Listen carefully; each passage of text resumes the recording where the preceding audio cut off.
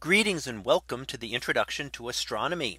One of the things that I like to do in each of my introductory astronomy classes is to begin the class with the astronomy picture of the day from the NASA website that is apod.nasa.gov apod. And today's picture for November the 22nd of 2020. Well, it is titled Dark Molecular Cloud Barnard 68. So what do we see here?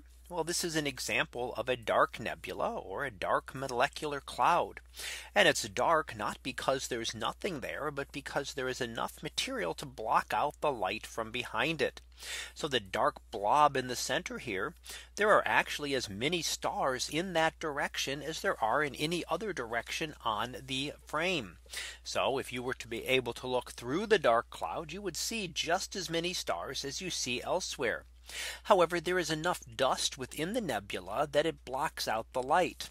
Now, how does this work? There isn't a lot of dust. It isn't heavily concentrated.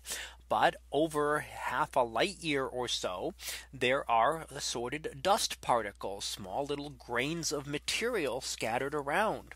And there are enough of them so that no matter what line of sight you take going through the cloud, your eye eventually hits a dust cloud. So in a way, it's similar to being in a forest. You can't see to the edge of the forest because there are so many trees there that your line of sight always intersects a tree. And that way you cannot see out because of that. In this case, it's a very similar thing that no matter where you're looking, you're looking at a dust particle. And even though they're far apart, when you have a light years worth of material and space for this, it can block out light even from bright stars. Now the dust does a couple of things. It blocks out the light and makes things appear fainter and or invisible if it blocks out enough. But it also makes them appear redder.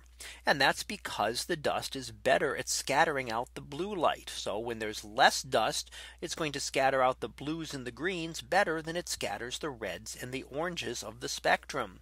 So if you look around the edge of this nebula, you can see a number of very deep red stars. Now these stars are not necessarily actually red. So they may appear red simply because the other so much all the other wavelengths have been blocked out. And the only thing making it through is red. And in fact, if you look at this nebula in infrared, which is an even longer wavelength, you can see straight through it.